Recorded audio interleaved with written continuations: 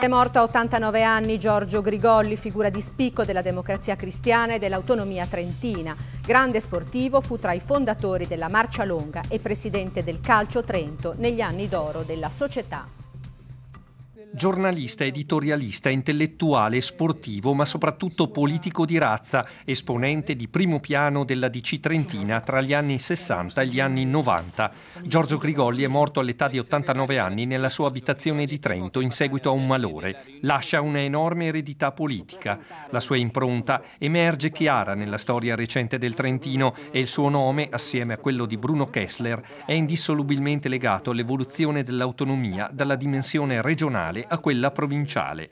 Esponente di spicco della corrente dorotea del partito, nel 1958 è nominato segretario provinciale della DC.